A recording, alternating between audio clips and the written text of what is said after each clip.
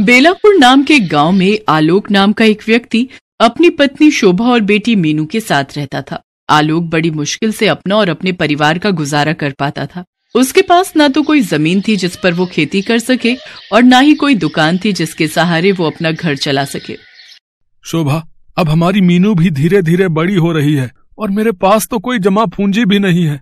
पता नहीं कैसे पढ़ा पाऊँगा उसे। हे भगवान, हमारी मदद कर। गाँव में अगर किसी के घर की या खेत की साफ़ सफ़ाई करनी होती थी तो वो आलोक कर दिया करता था जिससे उसकी थोड़ी कमाई हो जाती थी। मगर ये रोज का नहीं था। कभी उसे काम मिलता था तो कभी वो बेरोजगार रहता था। क्या करूँ शोभा? कोई पक्का काम मिलता ही नहीं जिससे कि अच्छी कमाई हो जाए। आलोक किसी पक्के काम की तलाश में निकल पड़ता है। काम तलाशते तलाशते उसे शाम हो जाती है और वो घर आ जाता है। शोभा अगर कुछ खाने के लिए बनाया है तो दे दे। मुझे बहुत जोरों की भूख लग रही है। जी आज के लिए थोड़ा सा आटा और सब्ज़ी बची थी वो बना दी है पर ना जाने कल का क्या होगा।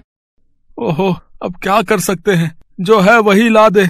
मैं खुद काम की तलाश में सुबह से भटक रहा हूँ लेकिन कहीं काम नहीं मिल रहा। मैं तो परेशान हो चुका हूँ। जी आप दुखी मत होइए। भगवान ने चाहा तो जल्दी ही हमारे अच्छे दिन आएँगे। आज तो ये रोटी सब्ज़ी नसीब हो गई। लेकिन पता नहीं कल ये भी मिल पाएगी या नहीं। आलोक रोटी सब्ज़ी खाते खाते काम के बारे में सोच रहा होता है तभी वो सोच में पड़ जाता है। अरे वाह रोटी सब्ज़ी ये तो बहुत अच्छी बात है। इसी रोटी सब्ज़ी से मेरा काम बन जाएगा। आलोक खुश होते हुए शोभा से कहता है। शोभा मेरे दिमाग में एक ज़बरदस्त आइडिया आया है जिससे मेरी अच्छी कमाई होगी। बोलो क्या तुम मेरा साथ दोगी? हाँ हाँ कहो क्या आइडिया है? मैं सोच रहा हूँ क्यों ना रोटी सब्ज़ी बनाकर बेचूं। जी आइडिया तो अच्छा है पर हम उसे बेचेंगे कहाँ? हमारे पास तो कोई जगह भी नहीं है। हाँ अब ये तो मैंने सोचा ही नहीं। खैर अब कुछ और काम ढूंढता हूँ। अगले दिन आलोक काम की तलाश में निकल जाता है लेकिन सारा दिन भटकने के बाद भी उसे कोई काम नहीं मिलता। और वो निराश होकर एक पेड़ के नीचे आकर बैठ जाता है। तभी एक आदमी उसके पास आता है और उससे कहता है। आ, नमस्कार भाई साहब। मेरा नाम राजीव है और मैं इस गाँव में नया आया हूँ। क्या आप भी इस गाँव में रहते हैं? जी जी मैं भी इसी गाँव में रहता हूँ और यहीं पास में ही मेरा घर है। अगर आप बुरा ना मानो तो मैं एक बात पूछूँ? जी कहिए। आप कुछ परेशान दिख रहे हैं? क्या बात है? जी दरअसल मैं काम की तलाश में हूँ लेकिन कहीं बात नहीं बन रही। सोचा था कुछ बनाकर बेचूँगा लेकिन उसके लिए जगह नहीं है मेरे पास। जगह नहीं है मतलब? मतलब मेरा घर बहुत ही छोटा है और मेरे पास इतने पैसे नहीं है कि मैं नई जगह खरीद सकूँ। ओहो तो ये बात है। वैसे मैं आपकी मदद कर सकता हूँ। मेरे पास इस गाँव में बहुत सारी ज़मीन है। अगर आप चाहें तो उस जगह का इस्तेमाल कर सकते हैं। क्या सच में? और जब आपकी कमाई अच्छी होने लगे तो उसमें से कुछ पैसे आप मुझे भी दे दीजिएगा। जी आपका बहुत बहुत शुक्रिया। राजीव आलोक को अपनी ज़मीन दिखा देता है जिसके बाद आलोक वहाँ पर अपना रोटी सब्ज़ी बेचने का काम शुरू कर देता है। साथ ही शोभा भी आलोक की मदद के लिए आ जाया करती थी। आलोक की रोटी बिज़नेस का काम बहुत अच्छे से चलने लग जाता है। सभी को उसकी रोटी सब्ज़ी बहुत पसंद आती है। उसकी दुकान पर ग्राहकों की भीड़ लग जाया करती है। आलोक अच्छी कमाई करने लग जाता है। उस कमाई से वो धीरे धीरे अपना सारा कर्ज उतार देता है। फिर एक दिन वो राजीव के घर जाता है। अरे आलोक भाई आओ आओ। क्या हाल है आपके? आज मेरे यहाँ कैसे आना हुआ? जी मैं बिल्कुल ठीक हूँ। ये रहे आपके पैसे। बुरे वक्त में आपने मेरा साथ दिया। उसके लिए आपका बहुत बहुत धन्यवाद। इसके बाद आलोक हर महीने राजीव को पैसे देने लगता है। एक दिन राजीव पैसे लेते हुए कहता है आलोक मैं तुम्हारी मेहनत देखकर बहुत खुश हूँ। मैं सोच रहा था मैं ये ज़मीन तुम्हारे नाम ही कर देता हूँ। इसके बदले तुमसे जितना हो सके उतने पैसे मुझे देते रहना। अब ये क्या बात कर रहे हैं? आपकी ज़मीन अब मेरे नाम? हाँ हाँ मैंने फैसला कर लिया है। इस बात से आलोक बहुत खुश होता है। अब वो अपने काम को और भी मेहनत और लगन के साथ करता। लेकिन एक दिन जब आलोक रोटी सब्ज़ी बेच रहा था तभी अचानक उसकी दुकान पर पुलिस आ जाती है। भाई कौन है इस दुकान का मालिक? जल्दी से बुलाओ उसे। साहब ये तो मेरी ही दुकान है। मैं ही इसका मालिक हूँ। बताइए क्या बात है? ओहो तो तुम ही हो वो है? जिसने इस ज़मीन के मालिक को डरा धमका कर ये ज़मीन अपने नाम करवा ली। चल भाई चल। मेरे साथ चल। जेल की हवा खाने। मगर साहब मैंने तो ऐसा कुछ भी नहीं किया। दरअसल इस ज़मीन के मालिक तो राजीव जी हैं। अभी हाल ही में उन्होंने अपनी ये ज़मीन मेरे नाम की है। अच्छा तो फिर लेकर चल। मुझे उस राजीव के पास। चल। आलोक पुलिस को राजीव के घर लेकर जाता है। क्यों भाई? क्या इसकी दुकान की ज़मीन तुम्हारी थी हैं? जिसे तुमने इसे कुछ महीने पहले बेच दिया है? ये आप कैसी बातें कर रहे हैं सर? कौन सी ज़मीन? मैं तो इसे जानता भी नहीं हूँ। कौन हो भाई तुम? और मुझ पर झूठा इल्ज़ाम क्यों लगा रहे हो? लेकिन आपने ही तो मुझे रोटी सब्ज़ी की दुकान खोलने के लिए वो ज़मीन दी थी और कुछ महीनों बाद वो मेरे नाम भी कर दी थी। ये क्या बकवास किए जा रहे हो? मैं नहीं जानता तुम्हें। भाई कहानी तो बहुत अच्छी बना लेते हो। अब चलो जेल वहाँ की हवा खाने। वहीं तुम्हारी अकल ठिकाने आएगी। चल। तभी पुलिस आलोक को गिरफ़्तार कर लेती है। लेकिन साहब साहब मैंने कुछ नहीं किया है। मैं सच कह रहा हूँ। सभी अपराधी जो है ना जुर्म करने के बाद यही कहते हैं। साहब क्या जाने से पहले एक बार मैं अपनी बीवी बच्चों से मिल सकता हूँ साहब। ठीक है लेकिन सिर्फ़ दस मिनट के लिए समझे? तभी पुलिस की गाड़ी आलोक के घर के बाहर आकर रुकती है। अंदर जाकर आलोक अपनी पत्नी को सारी बात बताता है। ये तो बहुत बुरा किया उन्होंने हमारे साथ। अब हम आपके बिना क्या करेंगे? शोभा जब तक मैं वापस नहीं आ जाता तुम्हें ही ये घर संभालना होगा। और हाँ अपना और मीनू का ध्यान रखना। मेरी बात मानो तो जब तक मैं वापस नहीं आता तुम अपने मायके चली जाओ मीनू को लेकर। नहीं उन्होंने आपके साथ गलत किया है। मैं चुप नहीं बैठूँगी। अब कोई फ़ायदा नहीं है शोभा। सब खत्म हो गया। कुछ सालों बाद जेल से छूटते ही मैं तुम्हें लेने आऊँगा। पापा मत जाओ ना हमें छोड़कर। इसके बाद आलोक मीनू और शोभा को गले लगा लेता है और तीनों फूट फूट कर रोने लगते हैं। तभी पुलिस आलोक को अपने साथ लेकर चली जाती है। तकरीबन तीन साल जेल में गुजारने के बाद आलोक वापस शोभा और मीनू को लेने उसके मायके जाता है। शोभा तुम ठीक तो हो ना? और मीनू कैसी है? हम दोनों हर रोज आपको याद करते थे। मीनू रोज आपके बारे में पूछती थी। मैंने भी तुम दोनों को बहुत याद किया। चलो अब वापस अपने घर चलते हैं। इसके बाद आलोक दोनों को लेकर घर आ जाता है। घर आकर वो शोभा से कहता है शोभा तुम खाना बनाओ तब तक मैं आता हूँ। लेकिन आप कहाँ जा रहे हैं? उस राजीव से पूछने की उसने आखिर मेरे साथ ऐसा क्यों किया? इसके बाद आलोक राजीव के घर जाता है लेकिन उसके घर पर तो ताला लगा हुआ था। आसपास के लोगों से पूछने पर पता चलता है कि वो एक साल पहले ही गाँव छोड़कर जा चुका है। इसके बाद आलोक वापस अपने घर आ जाता है। शोभा वो तो एक साल पहले ही ये गाँव छोड़कर जा चुका है। अब छोड़िए जी उसको उसके किए की सजा तो भगवान ज़रूर देगा। अब आप अपने जीवन में आगे बढ़ने की सोचिए कि कौन सा नया काम ढूंढना है। हाँ शोभा अब दोबारा से कोई नया काम ढूंढना पड़ेगा। वैसे जेल में मैंने काम करके कुछ पैसे कमाए हैं। जब तक मुझे कोई नया काम नहीं मिल जाता तुम इन्हीं से काम चलाओ। तभी आलोक का दोस्त राजू उससे मिलने आता है। क्या हाल है अशोक भाई? वैसे उस राजीव ने तेरे साथ बहुत बुरा किया भाई। छोड़ उन सब बातों को बीती बातों को क्या याद करना?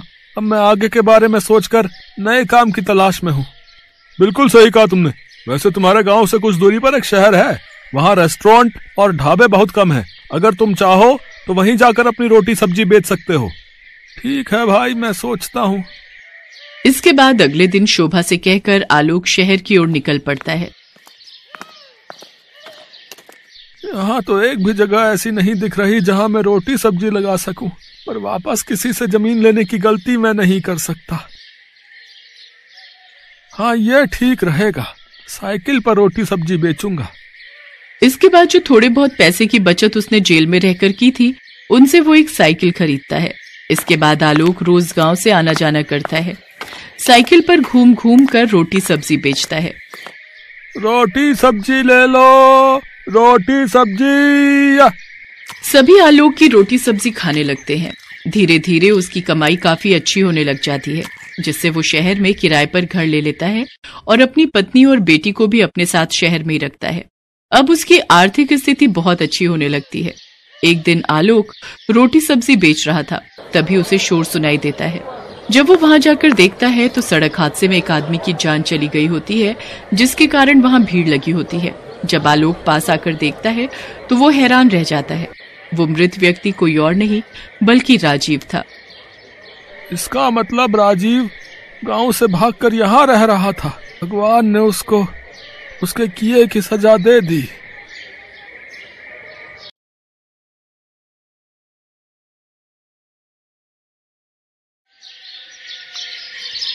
रामनगर के एक छोटे से गाँव में कमला नाम की एक बूढ़ी औरत रहती थी। वो इतनी गरीब थी कि उसके पास दो वक्त का भोजन भी सही से नहीं हो पाता था। वो अकेले ही रहती थी। उसके घर वालों में से उसके साथ कोई भी नहीं रहता था। उसके बेटे और बहू की मृत्यु हो चुकी थी और उसके पोता पोती शहर में रहते थे। पता नहीं आज कुछ खाने को बचा है भी या नहीं। देखती हूँ। कमला देखती है, थोड़ा सा आटा बचा है। कमला उसी आटे से दो रोटी बनाती है। जब कमला रोटी बनाकर खाने जा रही थी, तब उसे एक कौवे की आवाज़ आती है। कौवे की आवाज़ सुनकर वो बाहर आती है। अरे, इसके पैर में तो बहुत गहरी चोट लगी है। ओ हो हो हो हो बेचारा दर्द से तड़प रहा है। कमला उस कौवे को साथ लेकर आती है और उसके पैर पर दवाई लगा देती है। लगता है ये कौवा भूखा भी है। कमला ने अपने लिए जो दो रोटी बनाई थी, उसमें से वो एक रोटी उसे दे देती है और वो कौवा रोटी को खा लेता है और फिर वहाँ से चला जाता है। अगले दिन शाम में वापस उसी वक्त वो कौवा फिर आता है और चिल्लाने लगता है। लगता है फिर वही कौवा आया है। कमला वापस अपनी रोटी में से एक रोटी दे देती है। कुछ दिनों तक यही चलता है। वो शाम को कमला को आवाज़ लगाता और कमला अपने में से एक रोटी उसे खिला दिया करती थी। एक दिन वो कौआ कमला से कहता है मुझे तुमने कई बार भोजन करवाया है। बताओ तुम्हें क्या चाहिए? जो भी चाहोगी वो मैं तुम्हें दूँगा। मुझे बहुत कुछ नहीं चाहिए। बस इतना चाहिए कि मेरा गुजारा चल जाए और दो वक्त का भरपेट भोजन मिल पाए। ठीक है जैसा तुम चाहो। कौवा कमला को उसकी ज़रूरत की सभी चीज़ें लाकर दिया करता था। एक दिन गाँव में बहुत बड़ी बाढ़ आ जाती है। इस बाढ़ में कमला की झोपड़ी बह जाती है। हे भगवान, ये क्या हो गया? मैं कहाँ रहूँगी, क्या खाऊँगी? कुछ दिनों तक वो कौवा कमला के पास नहीं आता है। लगातार छह दिनों से कमला भूखी थी। छह दिन बाद कौवा कमला के पास आता है। जब वो आता है तब वो देखता है कमला की हालत बहुत खराब है। वो चल भी नहीं पा रही है और अब उसका अंतिम समय भी आ गया है। एक राक्षस काला बादल बनकर यहाँ पर बाढ़ ला दिया था ताकि मैं तुमसे ना मिल पाऊँ। मैं जहाँ जहाँ जाता हूँ वो मेरे पीछे पीछे आता है। इसी वजह से मैं तुम्हारे पास नहीं आ पा रहा था। कोई बात नहीं। बताओ तुम्हारी आखिरी इच्छा क्या है? मैं उसे पूरा करूँगा। मैं चाहती हूँ कि तुम मेरे पोता पोती जो शहर में रहते हैं उनको मेरे पास लेकर आओ। मैं उन्हें आखिरी बार गले से लगाना चाहती हूँ। अच्छा ठीक है। कौवा अपने जादू से देखता है कि वो कहाँ है। कमला के पोता पोती जिस शहर में रहते हैं कौवा वहाँ चला जाता है और उनसे कहता है तुम्हारी दादी की तबीयत बहुत खराब है। वो अपने आखिरी दिन में आ चुकी है। उनकी हालत बहुत खराब हो गई है। और वो अपने अंतिम समय में तुम दोनों को देखना चाहती हैं। ये सुनकर कमला के पोता पोती कौवा के साथ आने के लिए मान जाते हैं। कौवा अपने ऊपर दोनों को बिठा कर लाता है। जब वो सभी वहाँ पहुँचते हैं तब तक कमला की मृत्यु हो चुकी होती है। वो देख सभी बहुत दुखी होते हैं और कमला की ओर देखने लगते हैं। ये नहीं हो सकता। मैं कमला की आखिरी इच्छा पूरी नहीं कर पाया।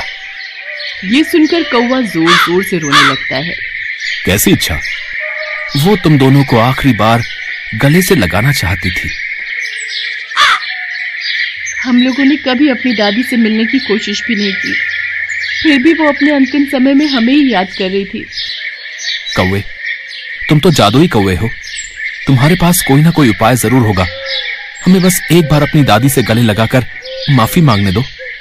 मुझे नहीं लगता है मगर कमला के लिए हर वो कोशिश करूँगा जिससे उसकी अंतिम इच्छा पूरी हो। तो वो उसी वक्त वहाँ से उड़कर दूर गाँव के किनारे अपने बाबा का इंतज़ार करने लगता है जिन्होंने उसे ये जादुई शक्तियाँ दी थी। बाबा मुझे एक मरे हुए इंसान को कुछ वक्त के लिए वापस लाना है। मेरे लिए ये बहुत ज़्यादा ज़रूरी है। कृपया करके आप मुझे कोई उपाय बताएँ।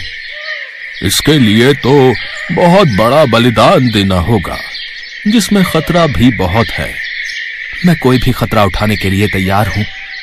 बाबा आप बस मुझे उपाय बताइए।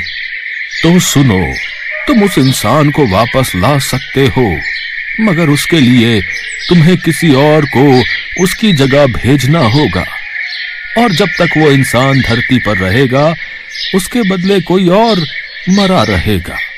मगर इसमें एक खतरा है। अगर एक पल भी देर हुई तो वो इंसान धरती पर ही रह जाएगा। और उसके बदले जो मरा है, वो मरा ही रह जाएगा। कौवा बिना कुछ सोचे कमला के पास जाता है। उसे एक घंटे के लिए वापस बुलाता है और खुद की जान ले लेता है। जैसे ही कौवा मरता है, कमला ज़िंदा हो जाती है। कमला उठती है तो अपने सामने अपने पोता पोती को देखकर बहुत खुश हो जाती है। बच्चों तुम दोनों को मैंने बहुत याद किया। दिन रात बस तुम दोनों के बारे में सोचती थी। हाँ दादी हमें माफ़ कर दीजिए।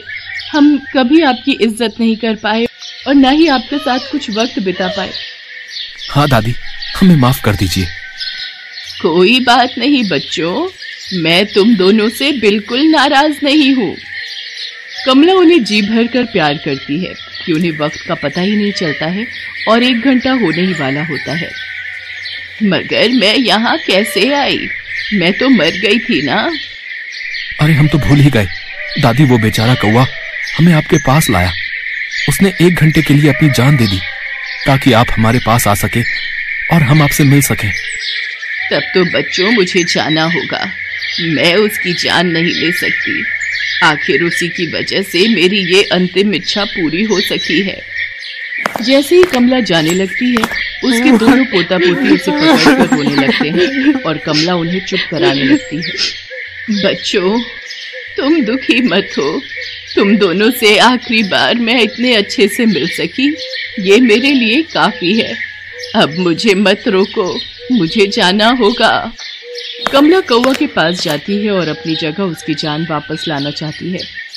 मगर ऐसा कुछ नहीं हो पाता है, क्योंकि कमला से एक मिनट की देर हो गई थी। हे भगवान, ये मैंने क्या कर दिया? मैंने अपनी वजह से इस बेचारे कौवे की जान ले ली। नहीं नहीं, ऐसा नहीं हो सकता। मुझे उसे वापस लाना ही होगा, बच्चों। तुम दोनों यहीं रुको। मुझे पता लगाना होगा कौवा ने कहा से शक्तियाँ ली थी। अब उसकी जान वापस लानी होगी। दादी मैंने उसे गाँव के किनारे जाते हुए देखा था। कमला वहाँ से जाती है और कौवा कहकर पुकारने लगती है। तभी वो बाबा आ जाते हैं। कौवा कौवा। क्या हुआ तुम्हें? तुम कौवे को क्यों बुला रही हो? कमला बाबा को सारी बातें बताती है। मैंने उससे कहा था कि इसमें बहुत खतरा है। जरा सी लापरवाही और जीवन की कुर्बानी। मुझे माफ़ कर दीजिए बाबा। मैं अपने पोता पोती को देखकर भावुक हो गई थी। मुझे वक्त का पता ही नहीं चला। कोई तो उपाय होगा जिससे मैं उसे वापस बुला सकूँ। एक ही तरीका है। तुम्हें अगले पाँच जन्म तक कौए के रूप में ही जन्म लेना होगा। और साथ ही साथ अभी तुम्हें अपने पोता पोती के साथ जाकर उस कौए को काले बादल से आज़ाद कराना होगा। तब जाकर तुम उसकी जगह ले सकती हो और उसे वापस बुला सकती हो। ठीक है बाबा मुझे मंजूर है मगर मैं उस काले बादल को उसके पीछे से भगाऊँगी कैसे? ये लो इस त्रिशूल से तुम्हें उस राक्षस को मारना है और वो यहाँ से गायब हो जाएगा। कमला ने बड़ी हिम्मत करके अपने पोता पोती को साथ लेकर उस राक्षस को मार दिया और फिर कौवे के पास जाकर उससे कहती है, मैंने उस राक्षस को मार दिया है। तुम अब वापस आ सकते हो। इतना कहते ही कमला कौवे की जगह चली जाती है और वो जादुई कौवा धरती पर वापस आ जाता है। कौवा राक्षस के चले जाने की वजह से बहुत खुश हो जाता है और फिर खुशी खुशी कमला के पोता पोती को उनके घर छोड़ आता है। और वो जादुई कौवा फिर कमला के पोता पोती को अपने जादू से मदद किया करता हेलो दोस्तों, कैसे हैं आप सब? हमारी कहानियाँ देखने के लिए हमारे चैनल को सब्सक्राइब कीजिए और हाँ बेल आइकॉन पर क्लिक करना मत भूलिएगा।